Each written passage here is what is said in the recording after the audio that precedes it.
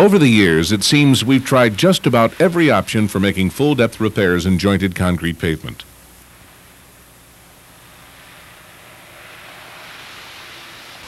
Some of the options have worked great. Others, not so great. The purpose of this program is to pass along SHRP's findings under the C206 project.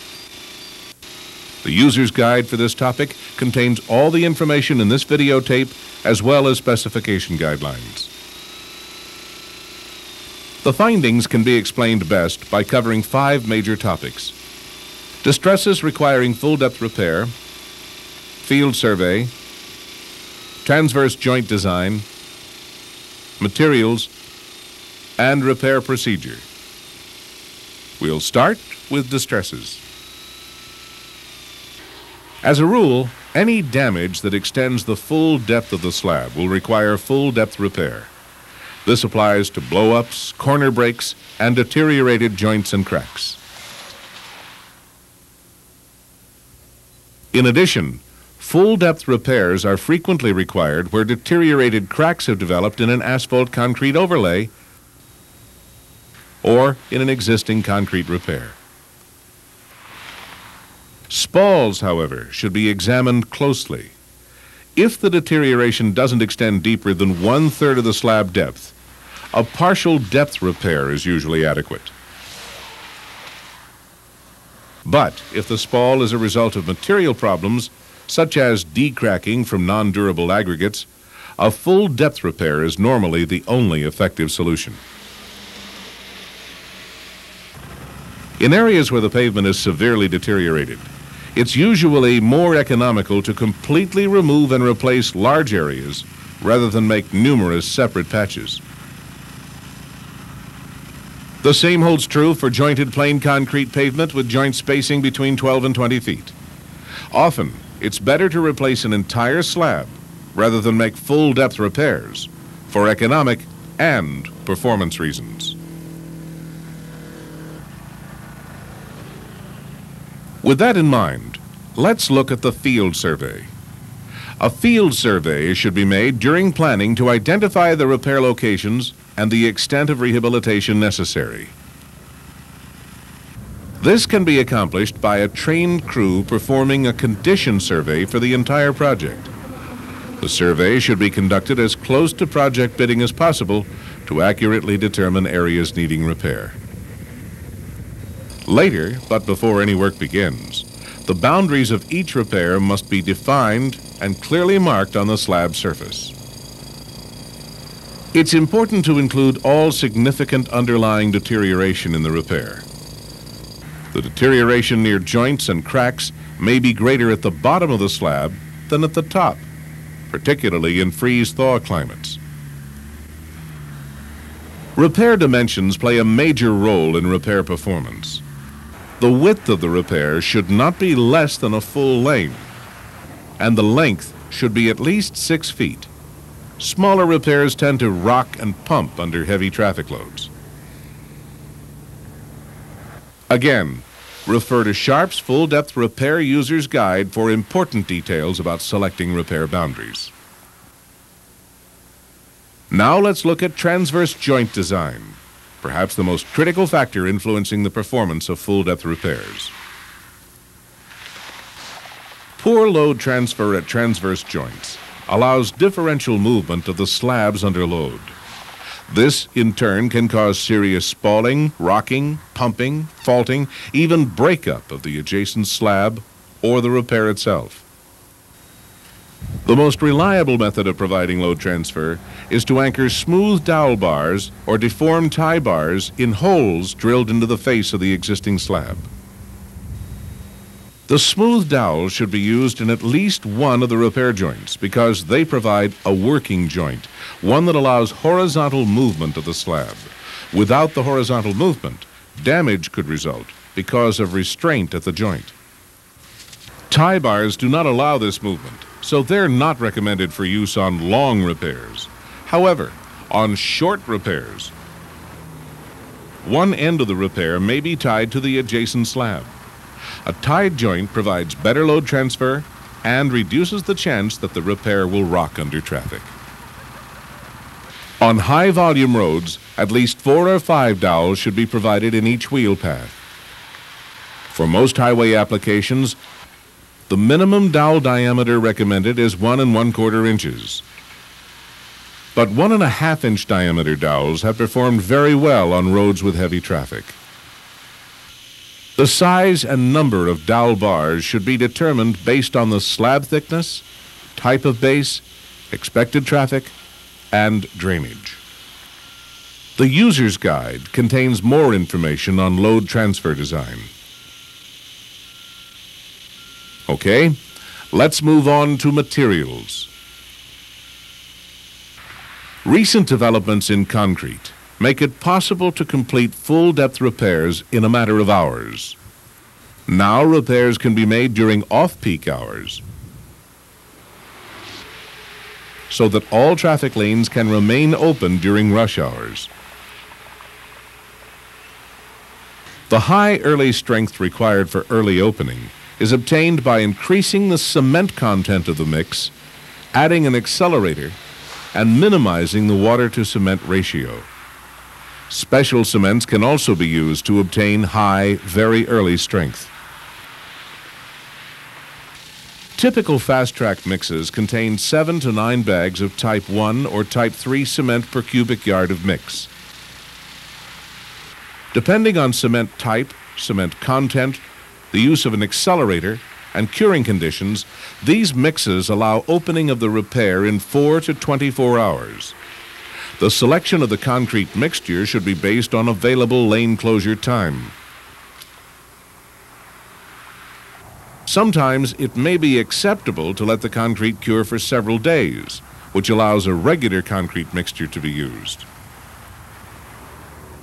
Now we're ready to examine the repair procedure in detail. There are several alternatives, but you'll be shown a generally accepted procedure that has given successful results. The first step is to saw the repair boundaries full depth with diamond saw blades.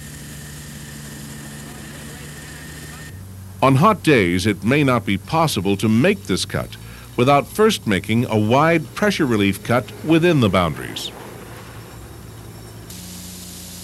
A carbide tipped wheel saw may be used for this purpose, but care must be taken not to damage the adjacent slabs or the base. This saw produces cuts with ragged edges that promote excessive spalling. Therefore, the saw cuts must be made at least 18 inches away from the repair boundaries. And they must not be allowed to penetrate more than a half inch into the base. Frequently, the repair boundaries are cut at night after the pavement is cooled. This helps keep the saw from binding.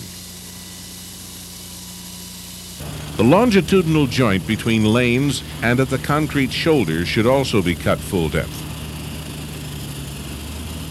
This cut must completely sever all existing tie bars. If there's an asphalt shoulder, about six inches of it along the repair boundary must be removed. This helps prevent damage to the shoulder during concrete removal and provides space for the outside edge form. A wheel saw may be used to make this cut. The concrete within the boundary cuts is now ready for removal. It's very important that this be done without damaging the adjacent slab or the base.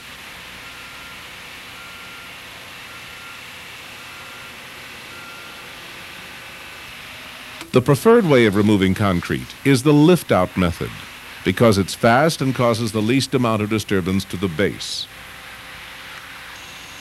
The concrete is lifted out in one or more pieces using chains and lift pins or other devices. After the concrete is removed, all loose or disturbed base material must be removed and replaced.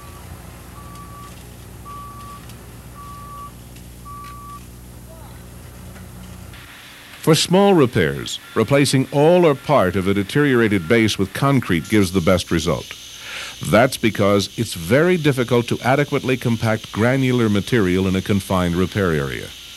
Hand vibrators normally don't produce sufficient compaction to prevent settlement of the repair. During both concrete removal and base preparation, it's very important not to disturb the base any more than is absolutely necessary.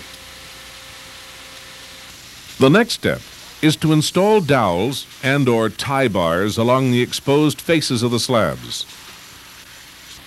The dowels on transverse faces are installed by drilling holes on 12-inch centers at mid-slab depth.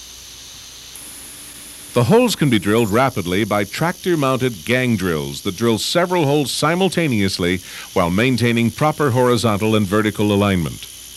Use of a single handheld drill is not recommended because of the likelihood of misalignment.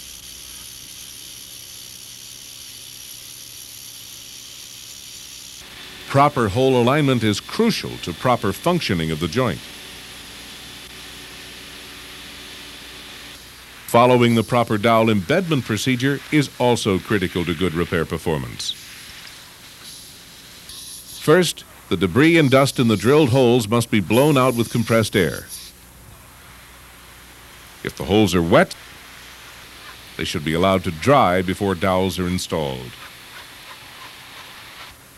A quick setting non-shrinking cement grout or epoxy resin is then placed in the back of each dowel hole. It's important to place this material all the way into the holes so that it will be forced out when the dowels are inserted.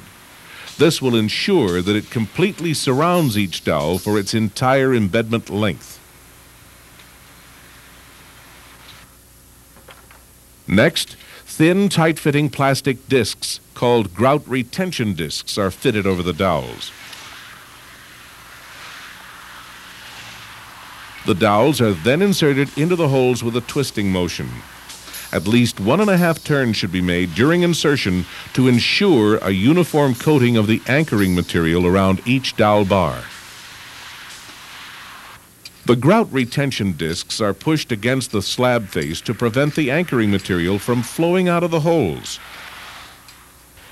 They also help create an effective face at the entrance of the dowel holes where the bearing stress is most critical. After dowel placement, the protruding ends of the bars are lightly greased to facilitate movement in the new concrete. The final step of preparation is the isolation of the longitudinal joints, required when the repair spans a transverse joint or crack in the adjacent lane. Longitudinal joints are usually not tied on full depth repairs to allow free movement of the repair at these joints. This is accomplished by placing fiberboard along the existing longitudinal joint. If there's an asphalt shoulder, an edge form must be placed along the shoulder joint.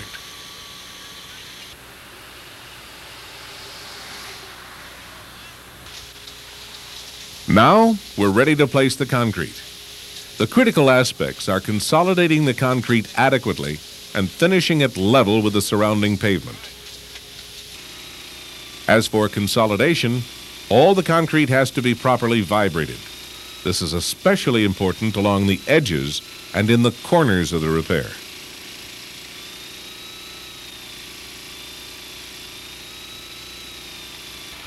The repair must then be finished level with the surrounding surface it's best to operate the screed parallel to the pavement center line, conforming the repair surface to any ruts in the existing surface. The repair surface should be struck off two or three times to ensure that it's flush with the adjacent concrete. As soon as the bleed water has evaporated, the repair surface should be textured to match the texture of the surrounding pavement as closely as possible. Then, immediately after texturing, the repair area should be covered completely and uniformly with a pigmented curing compound. The curing compound seals the surface to reduce moisture loss. If conditions are hot and dry at the time of placement, additional curing measures may be needed, such as covering the repair area with wet burlap. Both transverse and longitudinal repair joints should be sawed and sealed as soon as possible to reduce spalling and minimize the infiltration of water. The sealant reservoir should be made at least two inches deep to avoid point-to-point contact at the top of the slab, which can cause spalling. It's important that the reservoir shape factor, or the depth to width ratio, be consistent with the joint spacing and sealant type. The sealant manufacturer's recommendation should be followed.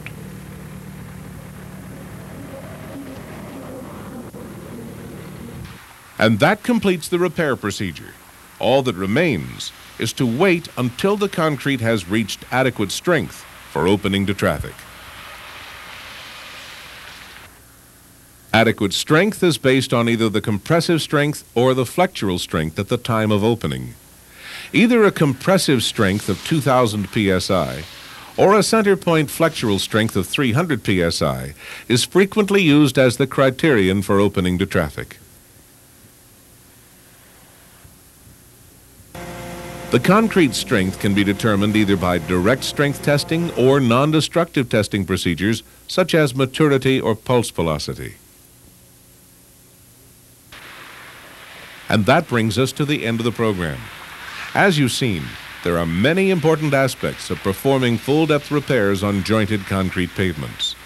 If you're planning full-depth repairs, consult the user's guide. It provides complete guidelines and guide specifications.